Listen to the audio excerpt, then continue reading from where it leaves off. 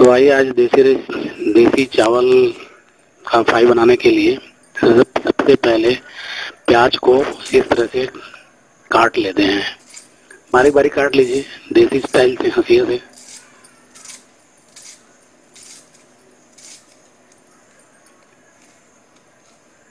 और उसे एक पात्र में रखते जाइए।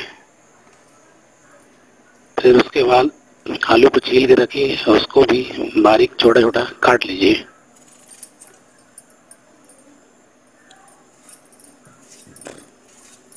चाकू से भी काट सकते हैं।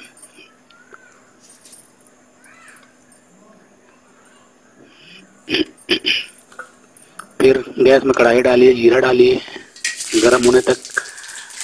फिर जब जीरा जो है ब्राउन होने लगे, इसमें हरी मिर्च डाल दीजिए।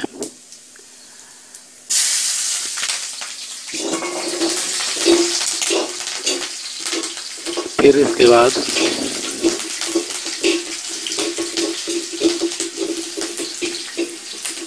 प्याज को काट के रखिए। जैसा कि आप देख रहे हैं, प्याज प्याज को भी पानी में डुबो को रखिए साफ़ करके, उसको अच्छे से दबा के निचोड़ लीजिए और फिर कढ़ाई में डाल दीजिए। भूरा होने तक उसको चलाते रहिए।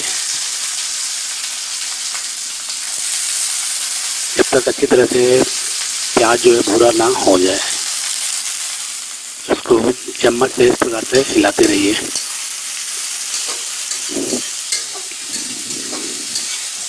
जैसा कि आप लोग देख रहे हैं।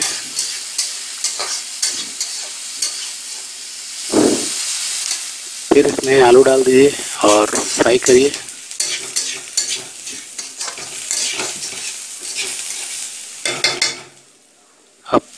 आलू हल्का भूरा होने लगा है, प्याज भूरा होने लगा है, नमक, हल्दी, और जैसा कि देख रहे हैं मिर्च, अपने स्वाद के अनुसार डाल लीजिए।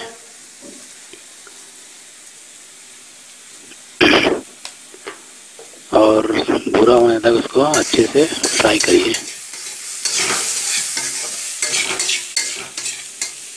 ठीक है, देखिए कितना अच्छा लग रहा है।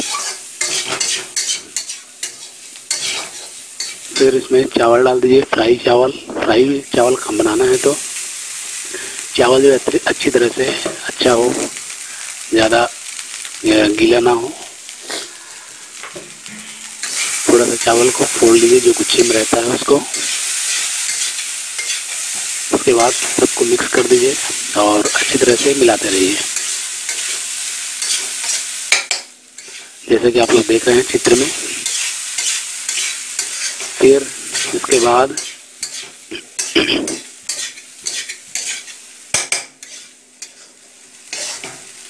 वो फ्राई होने के बाद ऐसा दिखेगा, इसके बाद ऊपर में धनिया अच्छी तरह से डाल दीजिए अगर आपको हमारी ये रेसिपी अच्छी लगे तो ज़रूर शेयर करें और सब्सक्राइब करें